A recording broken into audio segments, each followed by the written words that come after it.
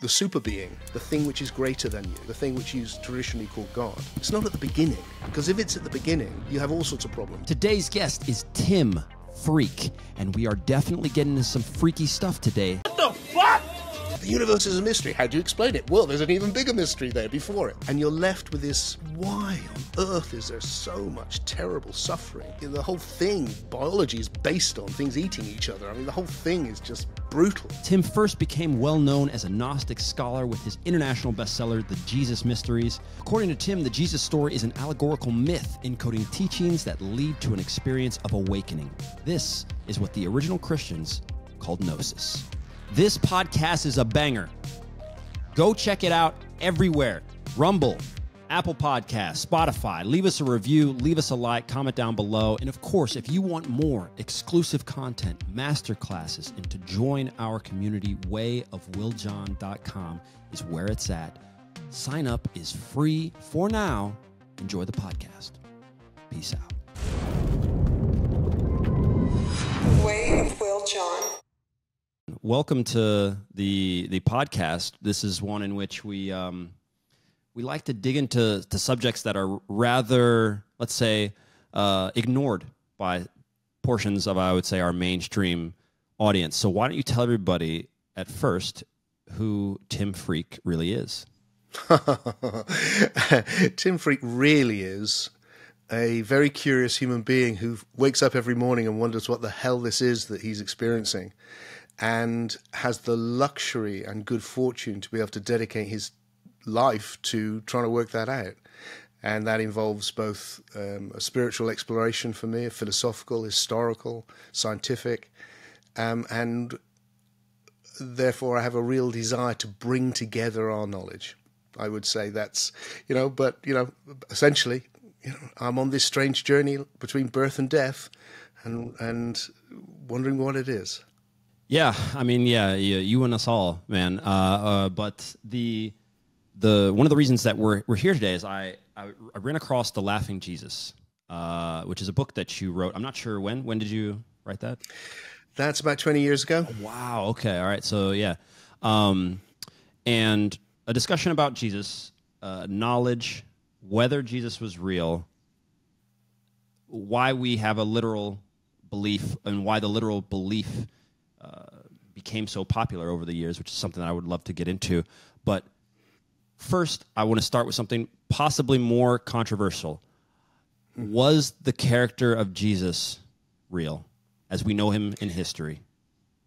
Uh, I and my dear friend and co-author Peter Gandy um, have come to the conclusion that it seems very unlikely, um, and it is much more plausible to treat the figure of Jesus as a allegorical myth in much the same way that most people would treat the myths of, say, Krishna, or in the in the West of Mithras or Osiris and Dionysus and all those other figures.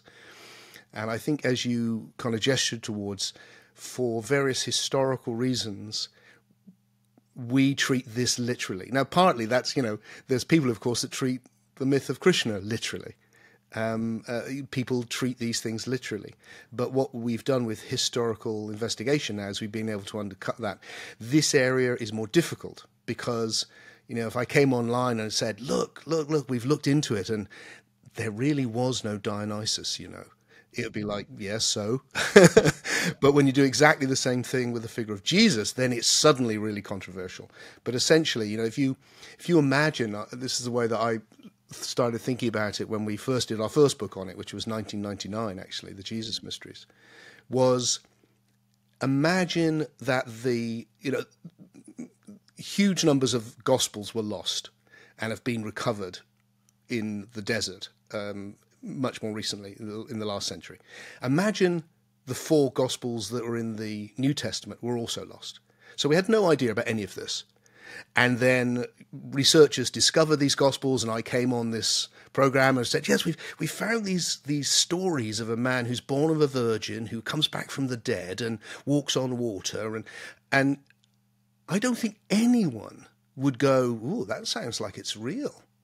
I think most people would go, "Oh, that sounds like a really interesting myth. I wonder what it means." and that's the place where I would s uh-huh. where I've ended up going there. Yeah, it, it it is what it sounds like, Right. But that's not to dismiss it, Will, Okay. because it is a profound myth. Okay. And, and by profound myth, do you mean that there is profound meaning behind it, or Yes, yes. I think it's. I don't. You know, our we kind of came through, and the and the Laughing Jesus in particular was a. Uh, it was an, an, a, it was a, a criticism, let's say, of literate religion generally, not just Christianity. And we came through at the same time as a lot of other people came through, or, became new as the new atheists, for example.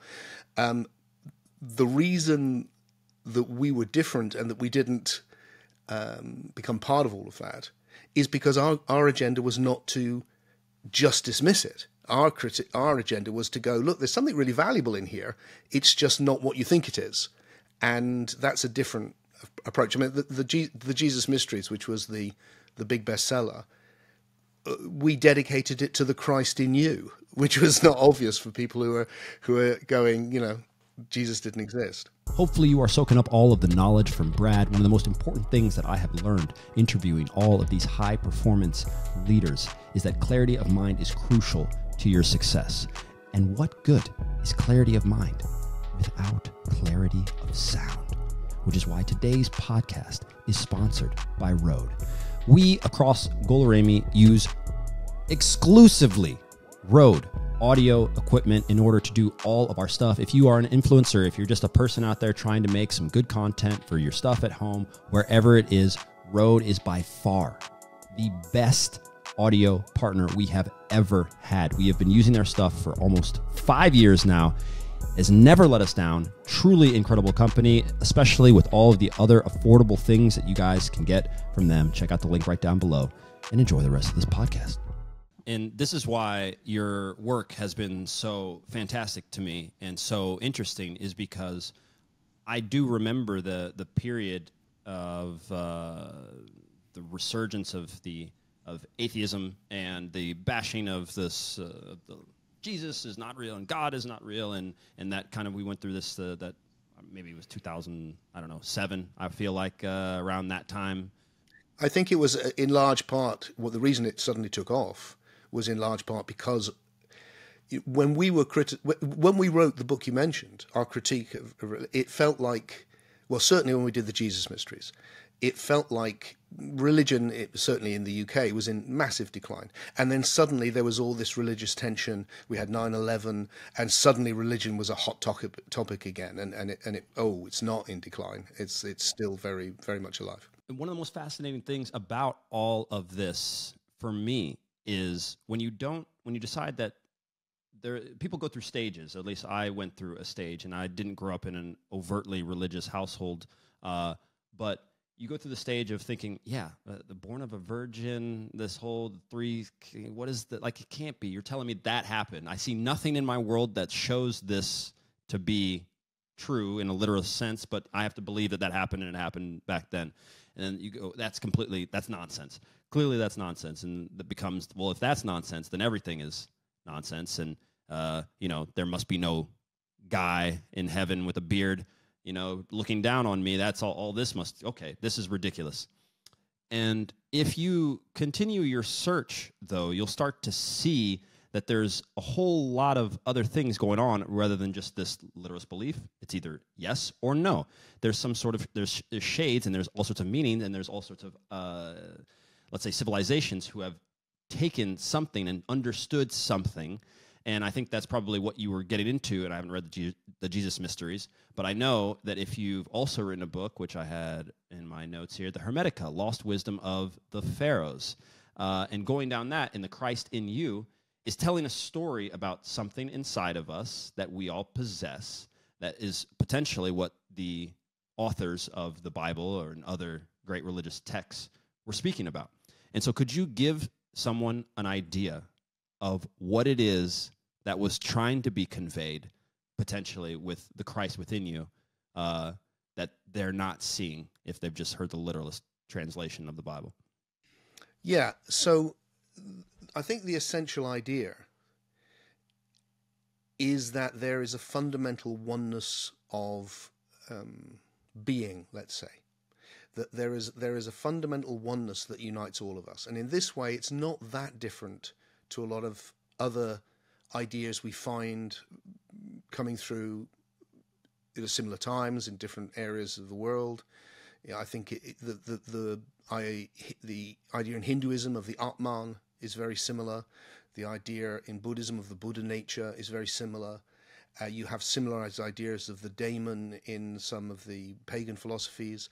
That there's something in, that, that your essential being, what you are, is one with what I am. And although we are also individuals, um, our spirit or essence is the same. So we're different. The the Greek, the Greek words that have used in all of the Christian literature is the pneuma, spirit, and psyche or psyche, which is uh, soul.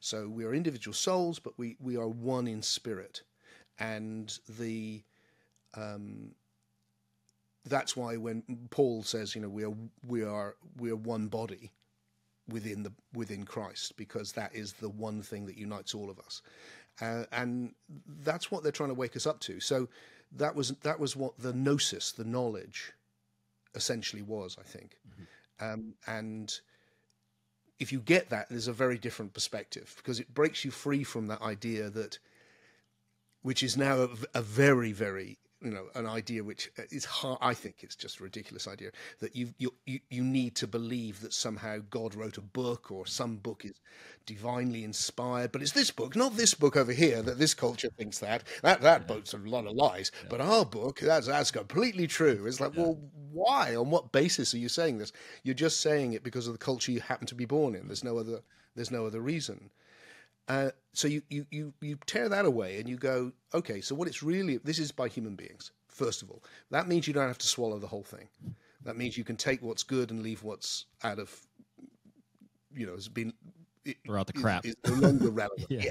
It's no longer relevant. Yeah. But you don't have to throw out the baby with the bathwater. You can keep what's of value and you can see what the essential thing they were exploring was, and that is, as you say, this this gnosis, how you can come to this knowledge, knowledge of God. It's really the essential idea you find in all forms of mysticism um, from that period. I think is when you experience this, you know that not only you you know you are one with God, or there is something higher than you, and you are one with it, and that's where we're all one, and that's what they're um, opening up to, and that that is this experience of agape or love, a love so big you could even love your enemies. And if someone's watching this saying, okay, that sounds interesting, you just said you can experience this. How? well, that's my main interest, really. Um, so I've been, um, I was, uh, for whatever reasons, I had a, an, I've been, ever since I was a kid, the first experience was when I was very young, 12 years old, and and something happened, and I would now say it was an experience of this gnosis. Um, and that set me on this journey, which is why I've written so many books on all these different spiritual traditions, including Christianity, drawing out this, oh, this is all pointing towards this experience. So, and what I've done for the last 20 years is gathered people together, and we'll, we'll, we'll do this in September in Glastonbury, um, not you know small groups of people because it then becomes more uh, intimate and you can make, make sure it happens. And there are ways in which we can come to this recognition of the place where we're all one. And when it happens, you you know, you just know. And my experiences, and it's in every culture, whether it's here or Japan or Mexico or Croatia, where um, and and all these different places, uh, is that it's much, much more accessible than people think.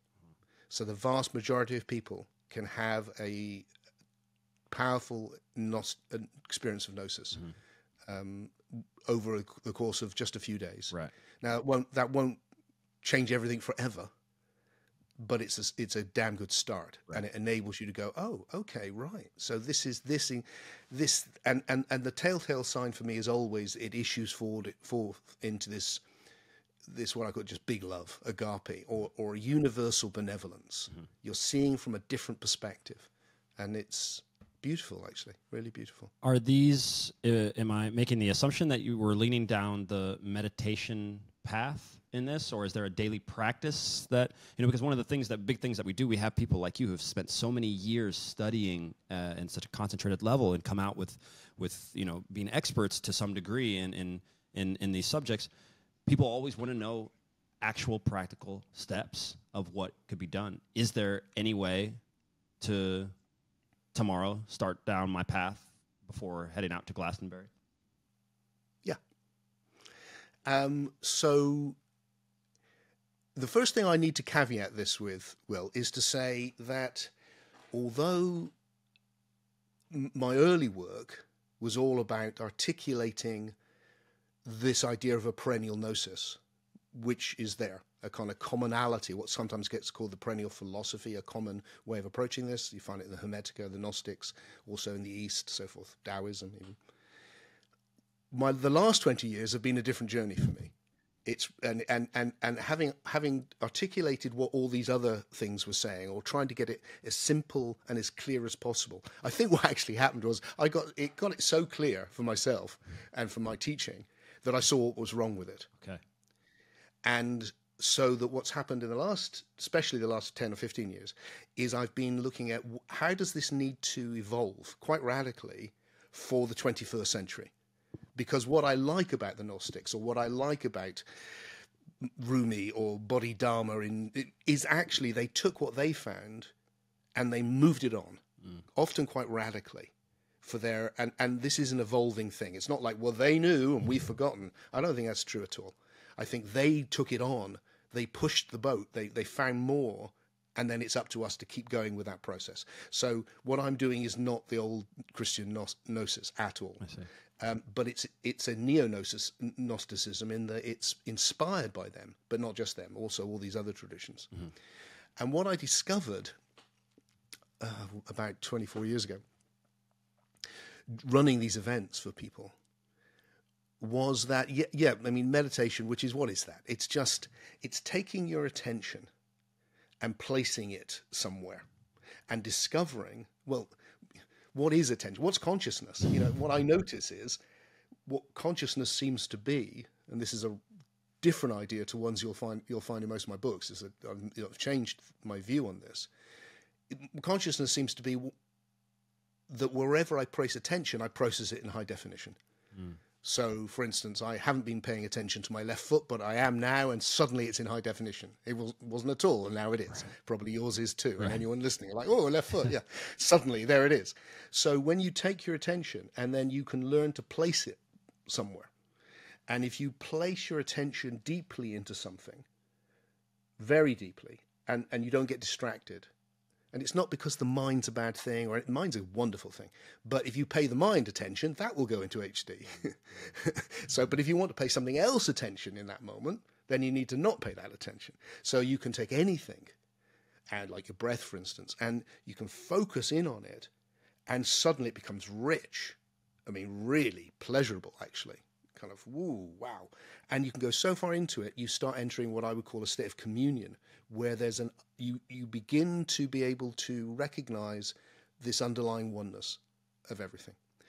You can also then do that with the whole caboodle, with the whole thing, uh-huh. and you can start tuning into this thing which is greater than you, and that's where the big love kicks in. However, that was a very long introduction for what I actually wanted to say, which was something else, which was the most powerful thing for me to bring in to high definition I have found is you. So, what I do with folks is I get them paying attention like that to each other. So, one of the very simple things would be you know, if we were if we were together now, well, we are together now, but if we were in the same room at one of the retreats, uh, would be to sit you down with me or with somebody and go, okay, just connect with your eyes for some minutes. And what happens when you do that is you soon realize, oh, there's a face, that's amazing. but what I'm connecting with is the psyche or soul. And I can't see that. I can do that with you now as I look at yours. It's like, there you are, this amazing man. And yet, what I'm connecting with, I can't see it. But it sure as hell's there. And suddenly, we're connecting soul to soul. And if you bring that into uh, that same high definition, suddenly there's one of us. And if you do that, what I'll do, you know, on, on this retreat we've got in September, for instance, in Glastonbury, I'll I'll I'll get the whole group together. There'll be about twenty something of us, not not too many, and you'll get to do that with everyone. We'll create a beautiful environment, a really, really, you know, beautiful music, nice environment because beauty is very transformative, and then you'll get to connect with every single person like that.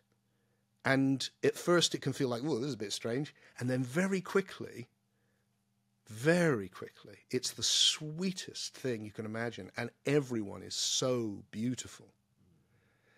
And you start realizing that other people are looking at you and going, "You're so beautiful," and then suddenly you're just one together. You're not, you haven't, you haven't lost your individuality. It's a heightened individuality because you're now in a state of communion with each other, and that is the gnosis. Now, I think we need to understand it philosophically different to how it was understood two thousand years ago but essentially the experience is the same or development of uh-huh. it. How how do things like dreams, lucid dreaming, these out of body experiences, how do they play a role in and and what have you found maybe from the ancients in their utilization of those things to connect either with that one or to change their you know daily lives or manifest to use that word uh, things that they would like yeah well i think you know what do we mean by spirituality? It's a funny old word, isn't it? it and my simple definition of it, of, of a spiritual experience, is when you have an experience that there is more going on here than your socio-biological existence. And I, and I think your socio-biological existence is pretty far out. I mean, that's that's enough to blow your mind. But as well as that, when you have those, there's more.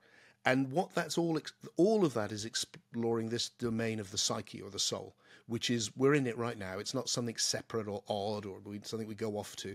We're in it. We're experiencing a non-material domain all the time. We're always experiencing body and soul. The, the simplest way to get that, the obviousness of that, is my body is making funny noises, but you're hearing meaning. But there's no meaning in the funny noises they're just funny noises. But in your soul or psyche, that's where the meaning is. And so all of these things, the out body experiences and lucid dreaming and, and a lot of the stuff that people have been exploring since shamanic times is about exploring that domain and how it impacts on this one. And a bit like exploring the biological or physical world you know, there's continents. there's a lot to explore. Where do you want to go? And the same with the with that. It's huge. Where do you want to go? Are you drawn to that? Are you drawn to this? Do you want to do that? Do you want to do this? And and uh, I've toyed with most of it to some extent. Um, I'm not an expert in all of it by any means, but you know, I, I think these things all impact. Uh, one thing that I found and, and I like you I, I can't say that I had any truly transcendent experience. I, that's not true. I guess I did but it doesn't have necessarily relevance to to what we're speaking about today at a as a young at a young age. I had a to explain it as simply as possible later in life I've realized uh, that a lot of people don't necessarily know what they're supposed to do with their life or the meaning you know, people can go to college, they can even, you know, have kids and a family and still kind of just be like, well, that's just what everybody does. Like, why am I really doing this? I, at around 15, I believe, uh, knew exactly. And it was just, I was just, I knew, I knew why I was here. I knew, and it, it, time stopped. I, I understood. And having that clarity basically changed my young adulthood tremendously because I didn't have any really distractions. I understood what distractions were because I could just get back on my path. And so it changed everything for me. And I realized later on, of course, that not everybody had that level of clarity and what a blessing it was for me to have that at such a young age because people can go through their entire lives without understanding why they're even here. Um, and that's tough. Uh, and, and so what I, what I wanted to ask is actually not on this subject, but people in trying to figure out what they want to do with spirituality, like you said, can use drugs uh, and things. Oh, we, I shouldn't just say the word drugs as if a, a, plant or a certain thing is necessarily a drug. But let's say people use Psychedelics. psychedelics and different things in order to to utilize that. What are your thoughts on that, and as well as what did what do you, do you believe it it enhances, or uh, do you believe it's a deterrent or a distraction? I should say. I think it's the, the I think they're amazing. um, uh, I've you know I, I'm he- I'm here to explore. That's what I realized when I was very young, and um, uh, so I have. So um, I I don't. Um, the older I get, the the less uh, there is new things to explore. But um, certainly when I was younger, I uh, yeah I, I explored. Um, psychedelics and found it incredibly powerful and interesting. Um, a lot of people I know have their first awakening experience in that way. It wasn't that way for me. Um, uh, and then there's been this influx of shamanic power plants, and ayahuasca and peyote and all of these, um, bufo, all which are amazing and very interesting again. Um, my own particular you know, I know people who've gone very deeply into these things. Uh, my own path with them has been infrequent and sacred. Uh, in the sense, and by sacred, I just simply mean that it's, it, you know, that it that it has import to the evolution of my soul, um, and that's been my way. And and because of that, I, my experience has been overwhelmingly positive. Not everyone's is. So one needs to be very careful. I think different psyches uh, are more fragile to these things. I'm quite strong, so it's been fine for me. Um, but it's hard. I mean, I hear people say ridiculous things like, um, yeah, I remember going on a retreat. Do you know who Ram Dass is? Yeah, yeah, of course. Okay, so I went I went on a retreat when I was younger with Ram Dass, who became a kind of mentor of mine for a bit.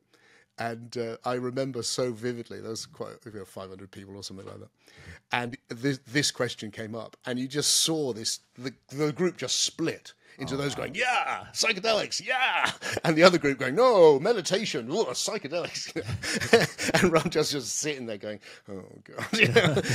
and I feel like that. I just feel like, look, and so anyone who says um, you can just experience all of this with meditation is probably lying and hasn't taken psychedelics because it's just not the same. Yeah. Um, uh, but conversely, then you're you're still taking that from something outside of you outside of your biology.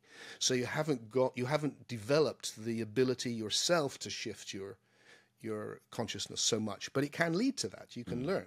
Depends whether you become reliant on it Right. i remember terence mckenna saying to me do you know terence mckenna? Yeah, yeah. Okay. yeah, yeah, good, good. I'm just checking because you know I, I, these people come and go, you know, and they're they're both dead, you know. Yeah, so yeah, you know, I I, don't know. No, no. Um, sure. uh, Terence saying to me, um, "Oh, for heaven's sake!" He's saying, you know, people say, "Oh, it's un- it's not natural." He said, "What's what's what's natural about sitting down with, the, with your eyes closed or facing a white wall? Much more natural to bend down and pick up a mushroom." So you know, I think there's lots of ways of seeing this. I I I, I think I think the journey of life. There's something we all share, of course, but it's also very individual. And that's its beauty. It feels like existence has been 14 billion years to get us to this level of individuality. And that's significant. And so each person's journey through life will be different. And that applies to spirituality too. And the advice I would always give would not be do this, it would be learn to tune into your intuition with this and follow that reflectively though. Don't just hmm. trust it because your intuition can also be very wrong. You need to be, you need always to reflect and to come you know to to be to be willing to be wrong. Yeah mm-hmm. always be, be willing to be wrong. What do you think about our society's rather newfound obsession with technology? And I say rather newfound because it's been coming over the last few decades, uh, but that's relatively new, obviously, in the space of you just mentioned 14 billion years for what the universe or however much we want to say. Uh, and in order to connect with that oneness and that you, and like you said, and if if I'm following your train of thought, it's you know our attention matters, our attention slash consciousness matters, and where we put it uh, is what we can have develop and and there's a big return, right? When you go into nature and you get engulfed by nature, or you're sitting next to an ocean and you're Yeah. just staring at this ocean, and you just something weird happens to you, you know, and you can't quite describe what's going on. Uh, and so, if we have this society who's moving towards technology, uh, which is not all bad, once again, I think just like with the psychedelics, I think balance in all things is going to be your best friend uh, in, in order for you to delve into some subject. But what do you think if it says that we really overdo this, which to some degrees it seems like we are headed towards away from nature and more towards this? Where do you see that? Where do you see us going if we if we overdo it, or are we, in your opinion? No, I love it. I think it's great. Uh, you know, human creativity, fantastic. You know, all of this, you know, I'm surrounded by it now. You know, the screen and the speakers and the microphone. All of this is the product of our, of the soul. You know, somebody has invented this from images in the non-material, has then worked out how to adapt the material to make these seemingly impossible things happen. So you can be in one country and I can be a huge distance away, and we can feel like we're in the same room and see each other and connect. I mean, that's just amazing. It's and beautiful. I mean, I do these, I do these weekly kind of meetups of. Um, I have this little online community of people that that come and we explore things, experiences, and ideas every Sunday. And it blows my mind, Will, because we've got we're doing gazing, for instance. I'll do gazing online. When I first did it, which I had to because of COVID, I had a group in Japan with a translator. and I couldn't go to Japan. So we had to do it online. I thought this is going to be impossible. It was amazing.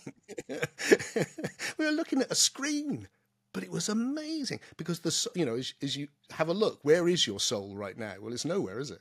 It's not in space. So you can connect intimately even though your body's miles away. And the technology allows that. So in our little group, there'll be someone, there's a lady who gets up in the middle of the five o'clock in the morning in Australia. There's other people in Sweden and South America and England, obviously, and US and all over the world. And yet we're all there gazing in each other's eyes. And it's like we're, we're, all, we're, we're intimately connected. So that's fantastic. You know, I love it that I was lucky that when I was young, we just arrived at the place where you could go into a bookshop and probably you could find the scriptures of the world say, which is what I wanted to be reading. Now, I, I got them all here. What, what, what fact you want? What, what, what, you know, Bodhidharma. Let's see. Let's, you know, it's like, what, it, I mean, these are fantastic things. Now, every time we do something new, there's always unintended consequences, and we have to become wise with it, and we will with this. We have to become wise, and there will be lack of wisdom, and that's obvious as well. But overall, I think we're extending the soul into matter, and and that that's I think it's it's exciting. Uh, you mentioned uh, obviously everything that we have around us is coming from a thought or an idea from the non-material world. Have you given any thought or made any conclusions into understanding the nature of reality in a, in a, in a way that isn't necessarily taught in in school? Because I can't even. Uh, this conversation never happened. I went to some I went to some okay schools. This sort of conversation was not happening. Uh, and so, could you maybe give uh, someone an idea of what is potentially happening when I first think I want a sandwich from that to you know or even something more obviously profound and to, I want to change my life I want a new job I want a, a, a mm-hmm. life a family H- how that process is happening how you can actually affect that with your attention Well, let, let, let's go for let's go for a, a massively, crazily big vision Okay. and see where we end up. So this is what I spend my whole days doing. Will says, you know, this, is I've been doing this before I talk to you. I'll do it afterwards. The what is this? This thing we're in. What the hell is it? Well, what I notice is that, and I'm going to say a lot of obvious things, but the obvious really interests me. Is that it's always new. It's always slightly new. And so, therefore, the, the first place I go with it is well, maybe that's what this is. Maybe this is the formation of new things, of novelty, based on the past. And that the, reality is a process of forming. It's a process of new things coming into form. And it's an emergent process because the new thing has to include the past thing, but will always be more than it. And that that process has started with the simplest things you can possibly imagine, which is what physics now points to. That, that if you go to, to the basement, as it were, of reality, it's information, like this computer, you know, it's information. And yet from that, this forming has taken place into the physical universe. And then, at least on our little planet, probably elsewhere, but here, you've suddenly got life, which a whole new level again. And then from single celled life, multicellular life, and then the ability to pay attention with in, in high, high definition, consciousness, sensation, and then the arising of the psyche or soul, which is, when I look at it, is made up of images from my sensory experience. And yet that is taken off to such a degree that it's a it, it's a bit like the internet. You know, it starts with a tiny little thing, and the next thing you know, woof, with the psyche's like that.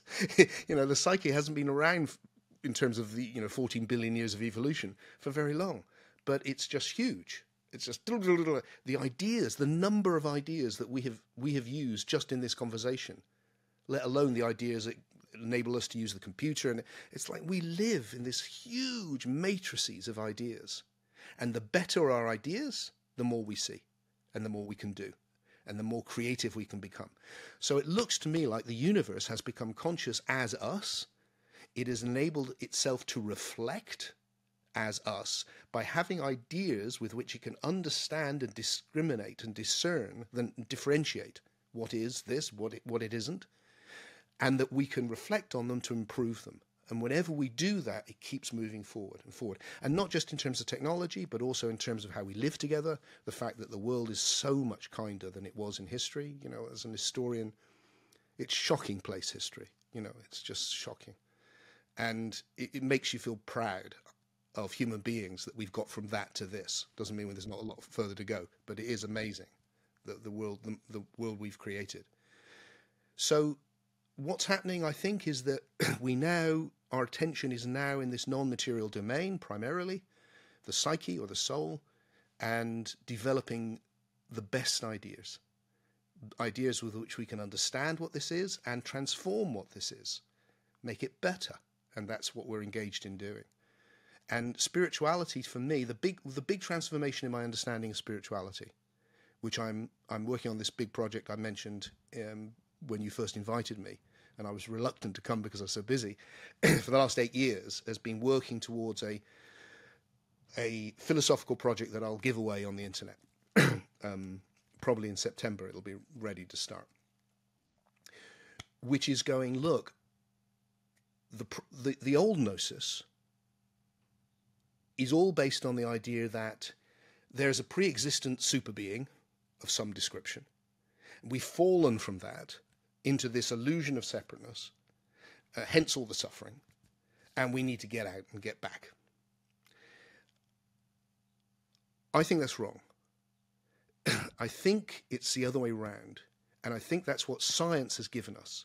Science has given us some key ideas which can help us understand spirituality in a new way. One of which, the big one, is the universe is a process of evolution, of emergence. And if we take that on board, I think spirituality, far from being an eternal realm we've fallen from or anything anything remotely like that, is actually the latest level of emergence.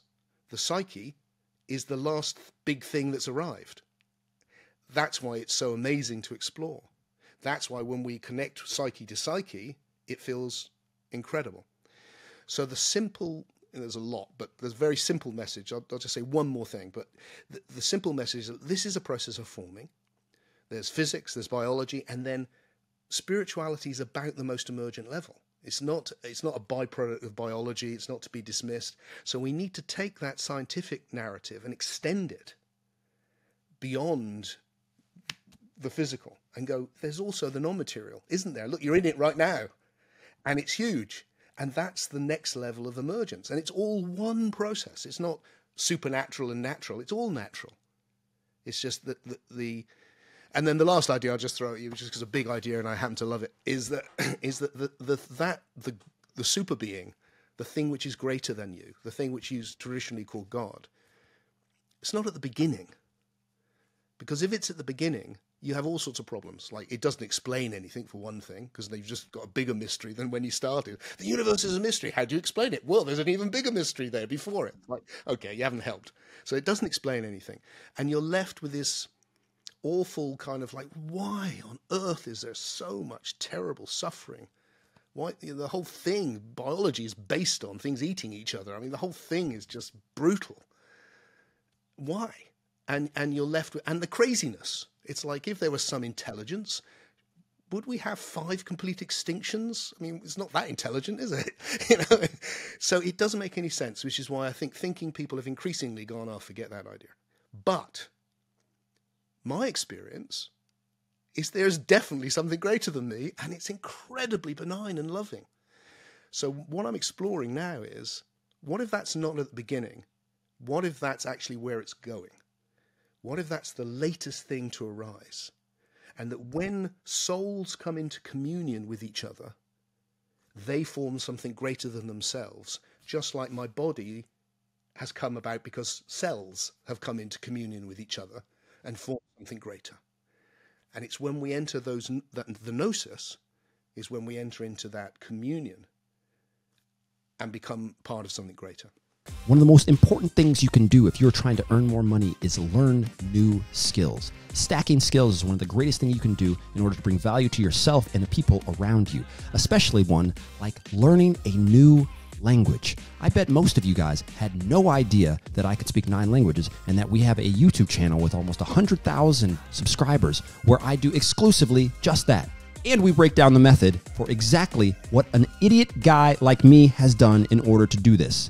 It's not complex, it's not complicated, and most of you guys have probably used the traditional method, and the traditional method sucks. That's why you can't speak any Spanish after four years of going to high school and taking Spanish week in, week out. If you want to learn to speak a language the fastest, easiest, and most natural way, click the link right down below. Goluremi Languages. We've got the method for you. Check it out. Right to say, I'm gonna I'm gonna bring us back a little bit because I wanna I wanna to touch on this this as a as a giant subject, even to make it in a more practical sense. I'm gonna bring us into uh the realm of conspiracy, just as a thought experiment. Uh, because you mentioned, uh, let's say, loving the uh, technology or obviously using it and, and, and having it uh, around. What about the idea that if we can't, and this is, I'm repeating stuff not necessarily that I believe, but that is out in the zeitgeist right now, uh, that if the phones, the, the, the TikTok and the rest of the social media is stealing my, stealing in quotation marks, my, my attention, I can't necessarily have that transcendent experience, or can I? Because from what it, it appears, I don't know this. I don't know if anybody is using necessarily technology or scrolling mindlessly. Can you can you scroll mindlessly and then happen upon your being, the supreme being, or the the, the end, or uh, this this greater this this sense greater than you, or, or does it take silence or does it take is, is there a conscious process to it? And so i'm kind of that's where i'm, I'm kind of to, to know and to, and to get to is uh, is each individual going to have to gain control of their attention in order to have this thing move forward and have an experience like this Well, it can just happen. Um, it can happen because you scroll mindlessly and I come up and go, hey. All sorts can happen. yeah yeah But the key thing, I hear what you're saying. Look, this this is this this is all you know. This only happened yesterday. I mean, I mean, I I, I I lived most of my life before any of this existed, and and now suddenly it's everywhere. It's like it it's it's only just arrived. Hmm. So of course we don't know how to handle it, but it will force us to become aware. Now, if you don't have much faith in human beings, it is hmm. easy, and a lot of people don't. Then it's very easy to go, oh no, this is the this is the one. Now we're now we're we're fucked. You know, now it's like yeah, it's yeah. over. But people always say that. You know, every new technology, oh, the television, that's the end now. Oh, the radio, that's the end now. Well, let's go back. The book, that's the end now. Right. Yeah. And when the, when the printing press first came out, people would publish pamphlets about how the, you know, in England, about how the Napoleonic French were eating their, killing babies and mm-hmm. eating all terrible things. And everyone just believed it because it was in mm-hmm. print. But it didn't take that long for people to start going, oh, just because it's in print doesn't mean it's true. Aha, now we have more sophistication. You look at adverts from the 1950s. Buy this, it's really good. Oh, must be true. now you just on look at it and go, yeah, right, okay. we get sophisticated, you know, and then the next level and the next level. And the same thing will happen with AI. The same mm. thing will happen with all of this is that we will start going, oh, you can't necessarily take things on face value. And that's good because it requires us to reflect. Now, the interim period, there will be like, oh, God, but it will lead us to reflect more. It will lead us to go, hang on, what am I doing with my attention? And, and, and so I, I think there will be always problems. But in the long term, I have faith in, you know, we have the universe, it, the whole process has got us from 14 billion years ago. There's mainly just hydrogen, just a gas. Now there's you and me having this conversation. That, that's pretty impressive. So that process of, and then the human history has gone from people treating each other in ways that are unbelievably, you know, like routine brutality of an unspeakable to us really moving on from that. So I have great faith that we can keep that process going. Uh, and you said obviously one shouldn't blindly follow their intuition because it can be tricky, uh, and, and which is so true, right? And critical thinking, I think, uh, is something potentially that we are missing out on right now, or it seems to be not as valued, um, or not as taught, not as spoken about, not as trained, let's say, and um, and how does someone do that in a practical sense or how do you do that in your life right? Because if you have and, and you're doing this uh, uh, on, on a daily basis you're, you're touching into your intuition. How do you manage the let's say left brain logical thinking that says well do this then do this then do this then do this. Therefore why would i listen to the right brain and it's crazy nonsense about what what is possible or what could be what could be done? How do you weigh both of those together to make good decisions Well, I think the intuition and the and my ability to reflect are all part of one system, okay. And they they're both r- work really well together, and the reflection enable you know what reflection is a very interesting thing because well you're a footballer. I bet when you're playing at your best it's just happening. Yeah. Like, I mean, you know, it's like, but to get there, I bet you had to do a lot of reflection. What am I doing there? What am I doing there? Let's try that again until you can just do it. Uh, same with a musician or anything, really, driving, anything. So reflection actually is counterproductive. It slows things down. It's it's uh, it's time consuming. It's energy consuming, but it enables you to improve how you're processing. So if you're making if it's a trivial decision, you don't want to get lost in procrastination. But as a big decision, you need to stop and reflect if you can. And the intuition will give you like it will give you a sense of sometimes you don't know why you even have it but you know you have it and my feeling is take that very seriously but do not regard it as some divine revelation because it's not it is also you trying to work out what this is and what you should do about it it's just that it's a particularly strong insight into that. And sometimes it overrules all the other things for me. Sometimes it's like, no, I'm following that. But you can reflect and arrive at, no, that's the strongest. Mm-hmm. That is the one. I don't know why, but that is the one. But it's that ability to stand back and look at it. And so the key thing I think is is starting to enjoy being wrong. You know, and it's been interesting for me. I've come out, whatever it was, 10 years ago or something now, less actually with some of it, and had to go, oh, I've written 35 books, 34 of them were, were wrong in some important ways. And it was very interesting to see people's reaction because some people like, very attached to what I'd said before and they really didn't like it. And other people were like, wow, that's unusual. And it really struck me, oh, it's unusual, is it? Oh, because you'd think that we were constantly going around going, oh, I just discovered I was wrong. And and the big, sh- I mean, I'm 65, Will, and the last five years, my 60s, have felt like seeing I was wrong, seeing I was wrong, seeing I was wrong about thing after thing, and reevaluating my life, going, whoa, okay, right. And some of mm. it's a bit shocking.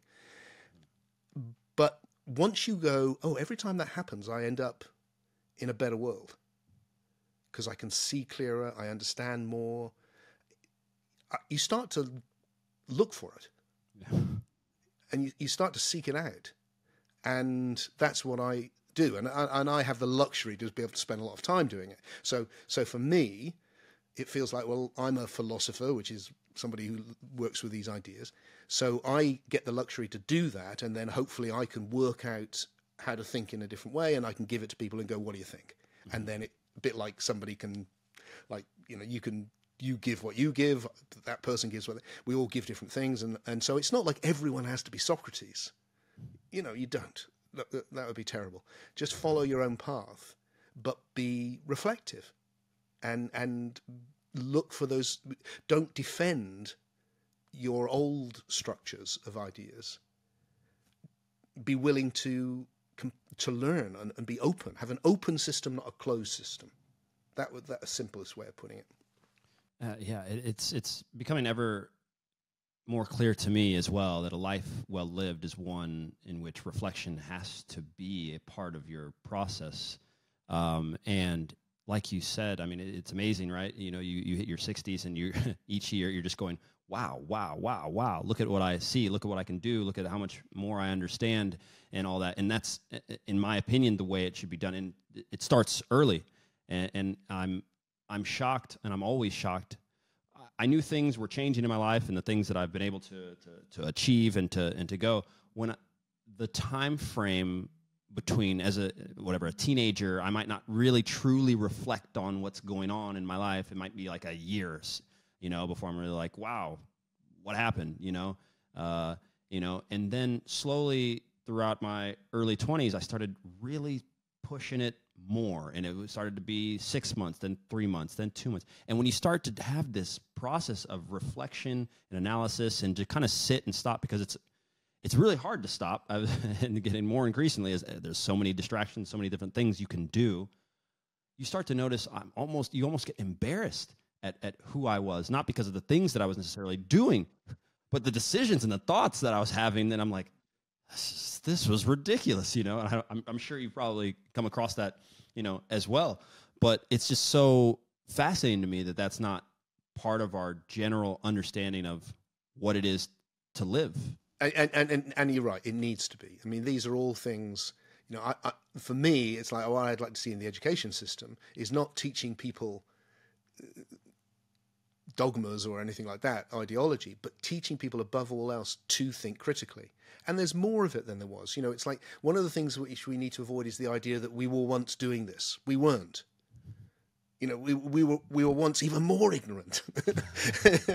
now, there's always been a, individuals and little groups doing it. And that's why things have moved on.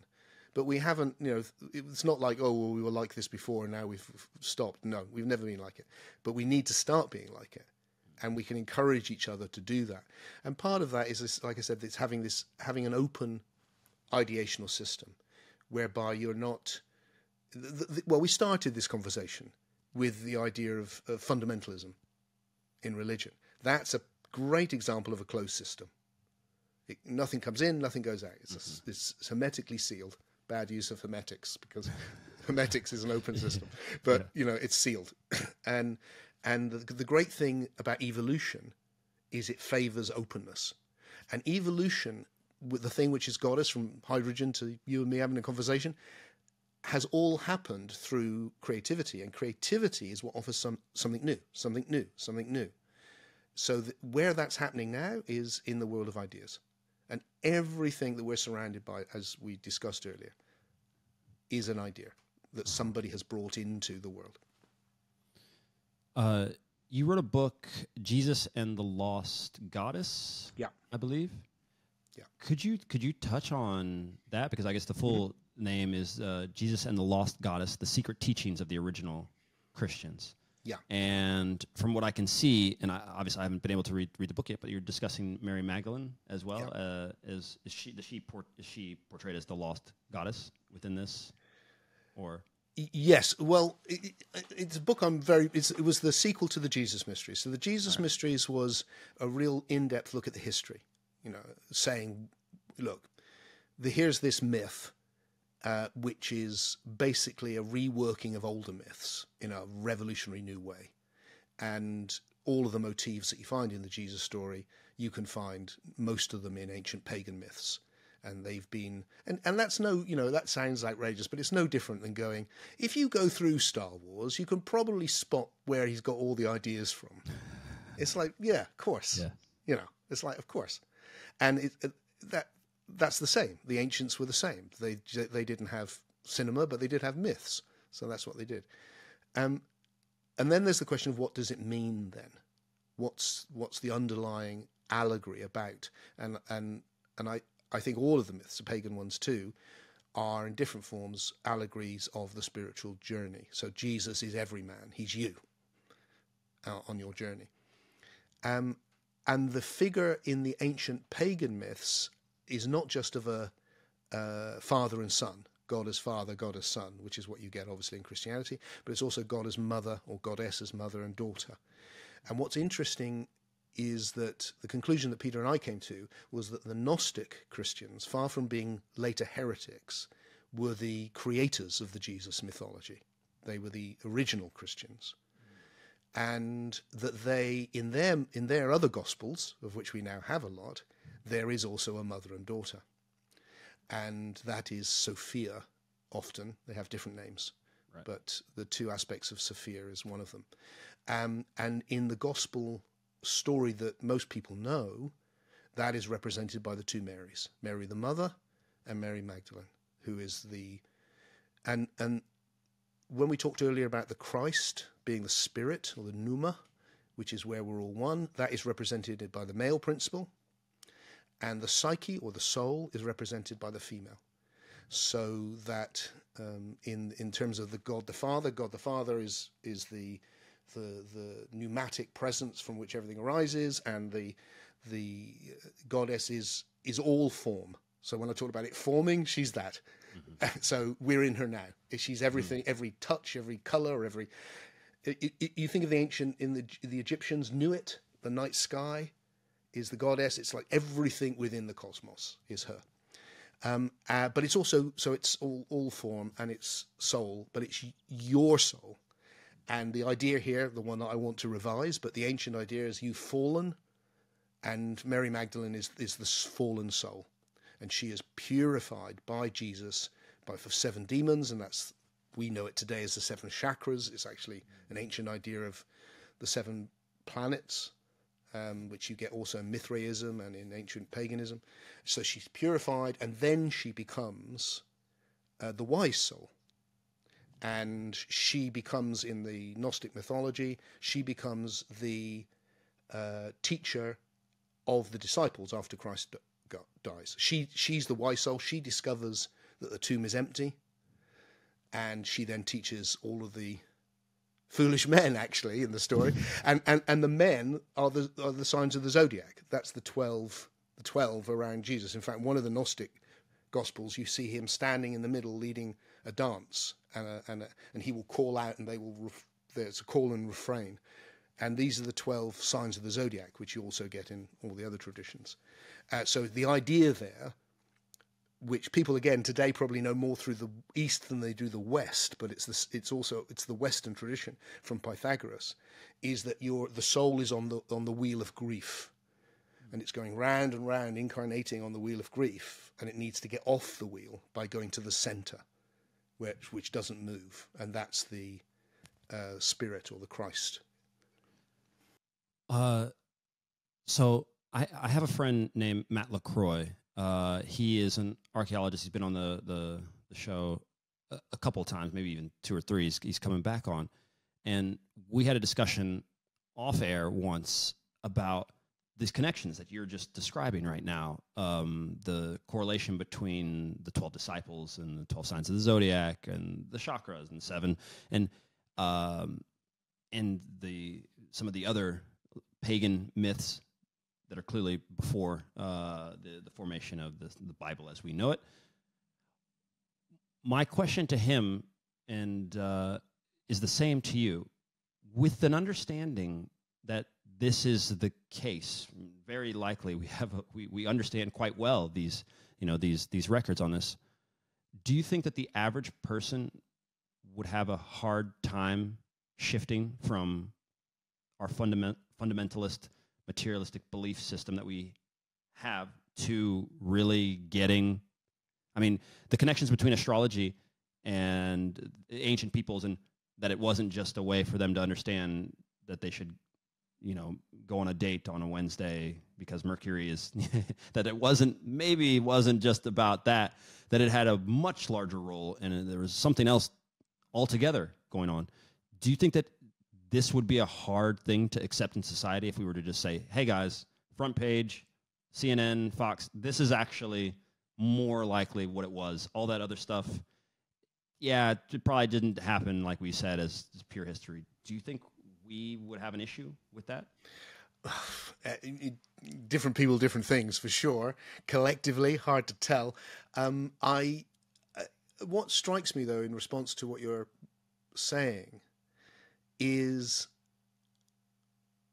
I mean, firstly, it's been interesting to me. I mean, the, the Jesus Mysteries was not written in 1999, and I still get messages all the time from people going, "Thank you, you, you set me free." And what's lovely about it, it's and is that it's people who are going, it's great. I'm reading more than one book. That's one of my favorite things that people say often. and and it, but they haven't it, what hasn't happened is that someone's come in and gone, taken it away. They had this lovely thing and now it's all gone. It's like, no, that hasn't happened. And because what we're saying is, look, there's, there's something better here than you think. It's not some history thing you've got to believe in, and if you don't, you'll be punished. It's actually a sublime transformation of the self, which you can you can enter into experientially, and you end up and you can talk to Jesus as much as you want because Jesus is that in the psyche. You know, it's like it's a it's a that it's a these are these are not trivial things. It's just not an historical story. Except that the sad the sad thing is is that very often it's um, none of my friends and family talk to me anymore, and that's the sadness. Is that you know you break out of a cult, and it, it's a closed system. But more generally, with what you're saying, what I want to respond, Will, is to say that's why I've given up, really, you know, my life actually, to trying to articulate an approach to spirituality which keeps the essence of what the why the experience is so important, but integrates it genuinely with our current, with everything else we understand about the universe, and is able to go, look, it's not woo woo and it's not supernatural. It's just an ex- the, the extension of the natural. And we can take all of these things which seem like they're crazy and understand them in a new way in which they're not crazy. And if we can do that, then, well, it'll change if that were to happen. And I think it, well, something will happen. Our, our, the idea that in my TED talk, I ended up by going, look, a new understanding is coming. And it's not controversial. Of course it is. New understanding is always coming. The question is, what will it be? And it won't be this. So, what's the next thing? Well, we had the, the scientific revolution. Scientific revolution came in, didn't mean to, because they were all good Christian menfolk. They, they came in and they ended up going, this mythicism is nonsense. And they, they got rid of mythic religion and they gave us science by going all of that supernatural nonsense.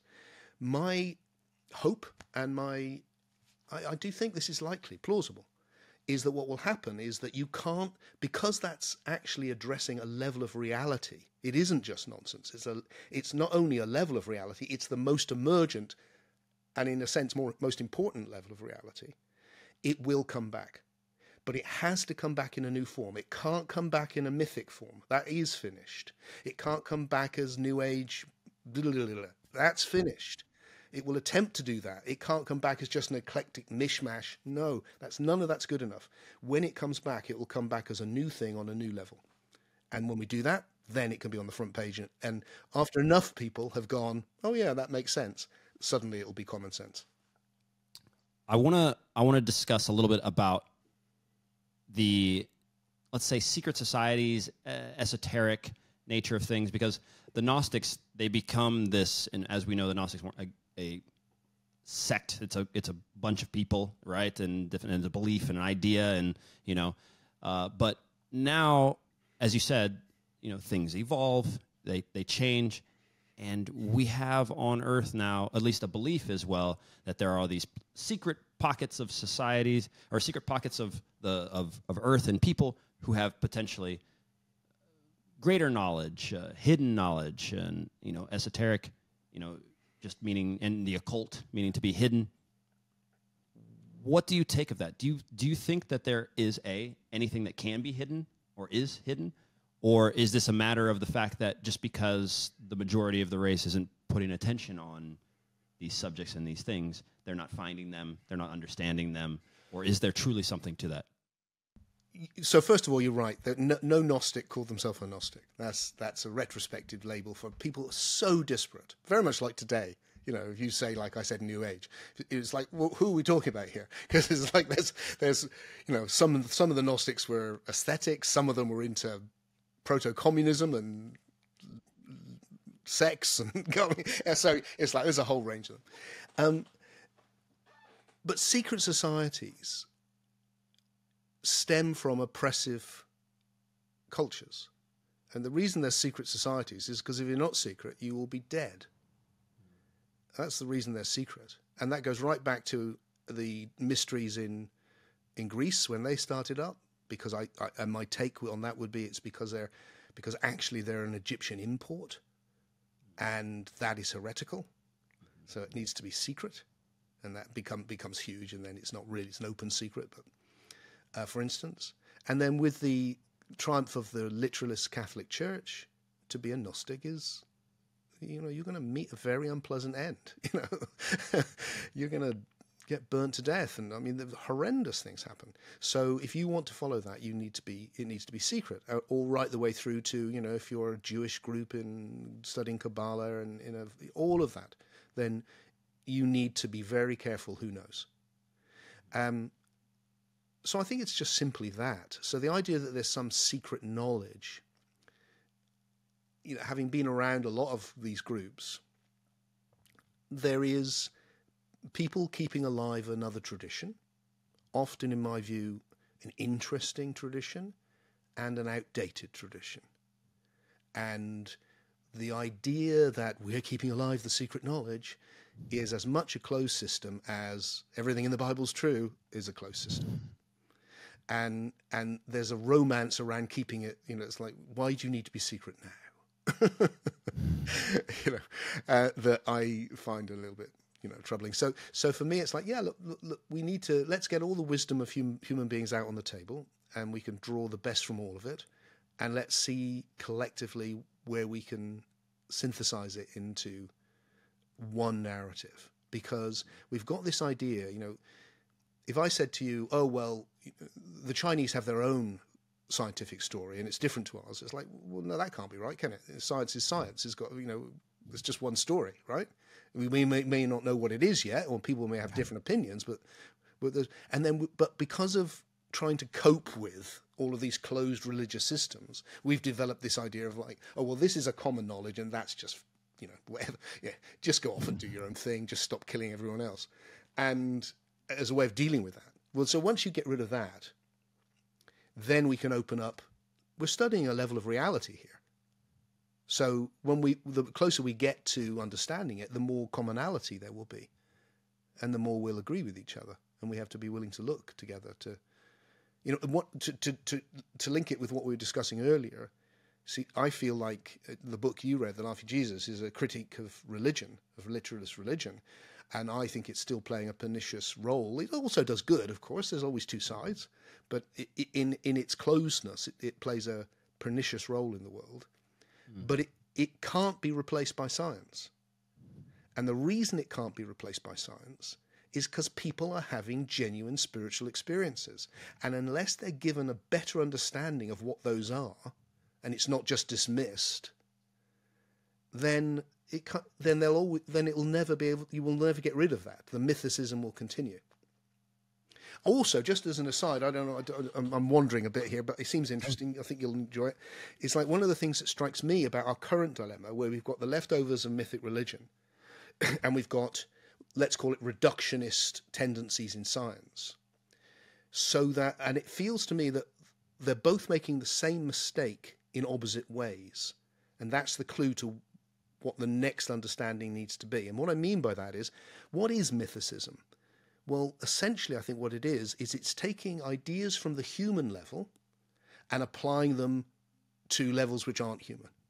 So if you go, oh, at the beginning there was the intention of God to know Himself, or there was a something, you know, or you know, it's a big fish with a whatever, you know, whatever depends on your myth. But you, you're taking things which are about this high level of human of, of intention and planning and all of that, which is going to take 14 billion years to arrive, and you're putting it at the beginning. Well, there wasn't any of that.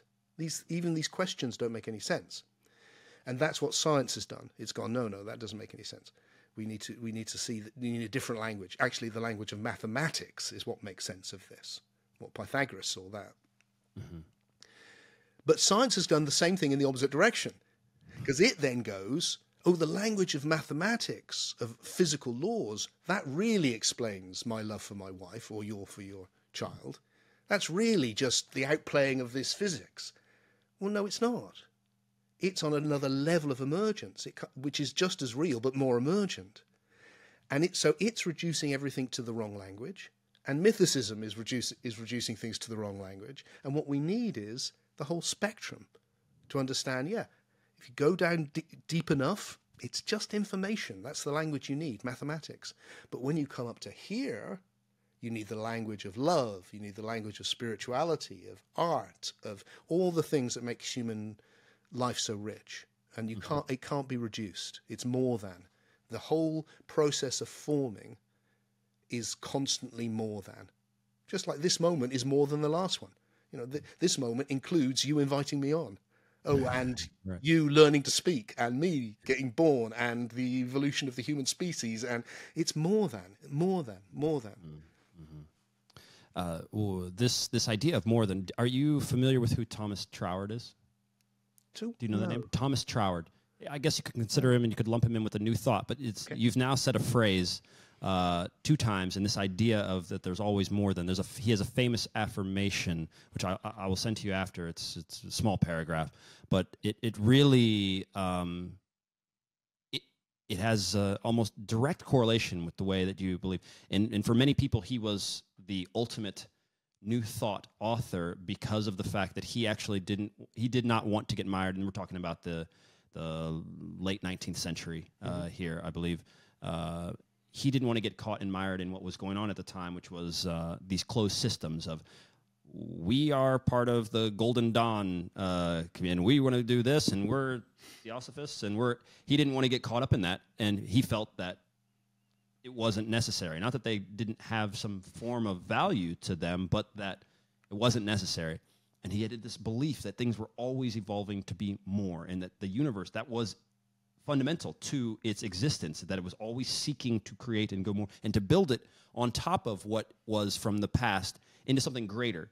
Uh, and so, I'll send it to you. Yeah, but thank I, I want. Thank you. Yeah, you'll you'll you'll appreciate it. His Yeah. his works now, on the other hand, which are uh, incredible, just requires such a level of concentration Right. uh, that, that I would not, based on the time that you have available to you, I would not dive into those. But to your point on the the problem of science, I just wanted to touch on this because it's something that I also feel is an issue. uh, Is people are still having these spiritual experiences, or not even necessarily spiritual in that sense. They're having things happen to them that they can't explain. And science is saying that it does have an explanation for it at certain times and points. You know, it's just the flashing things. This this electricity hit here and hit that, and boom, that's what happened. And we see we can touch this part of the brain, and we can create that experience for you. So therefore, we know what it is. And uh, it, it's always been troubling to me because I have also had interesting meditative, uh, you know, I- experiences. In which case, it would be very hard to to convey this in just in just numbers and even words themselves are lacking in able to to to put across what you can experience in some of these altered states and different levels of consciousness. And so I find that to be an issue for going forward for the materialist worldview uh, in how, how it's going to deal with that. It's because it's never gonna it's never gonna be completely solved. No. Um, and so here, since we're, we're just about closing up here, I, I'm curious, and I always ask. You've written plenty of books, ones of which we've spoken about plenty, also on here. So we'll link to those. But I'm curious, just for you, based on everything that we've we've written, which one of your books would you recommend? Number one, uh, to someone who wants to get a to go deeper into this, and number two, any books that necessarily that were a big influence to you in your growth uh, into the viewpoints that you have and, and are having. What would you recommend? Uh, well, loads of books have influenced me, but most of them I disagree with. So um, I might duck out of that one, o- only because uh, you know they are part of my evolution. But um, part of that evolution is being going. Oh, I'm not sure that's right. Um, in terms of my own books, um, I do think the the Jesus stuff which we've talked about is still relevant because it's historical, and it's interesting to understand the um, what they were saying. But the, the my latest book, which is a few years old now, which is Soul Story, Evolution and the Purpose of Life, which is the beginnings of what I'm going to articulate, um, what I am articulating now. So, and then, uh, and in terms of the experiential side, uh, probably the book before that, Deep Awake. Um, but the, the the the best thing is, you know, if people can, is come to the UK and and just hang out with me for a weekend or online on a Sunday, um, and see what you experience. Um, and, and then and then I'd want to say, you know, if people are intrigued to know whether I can actually come up with the goods on this idea of the universe forming, um, it is going to be a big project. I mean, we're talking about forty hours of audio, I expect. Um, uh, then they, you know, just sign up to my mailing list or on YouTube or wherever, because then you'll hear when it comes out, and then you can see for yourself, and you can tell me what you think. Deal. Listen, Tim, it's uh, it's been great. Everything I expected it to be. I knew that I would end up with more questions and things here that I would uh, eventually have to go to. But listen, if it comes, if it's coming out in September, and if time does permit, we'd love to to get you back on to That is a to date. discuss it more. That is a date, Will. I've so much enjoyed meeting you. It's been a great Awesome. conversation. Let's definitely do that. All right then. Uh, so, guys, if you're listening to this, the links to everything are in the show notes, and if you're watching this on YouTube, it's in the description box. And Tim, we will see you in September.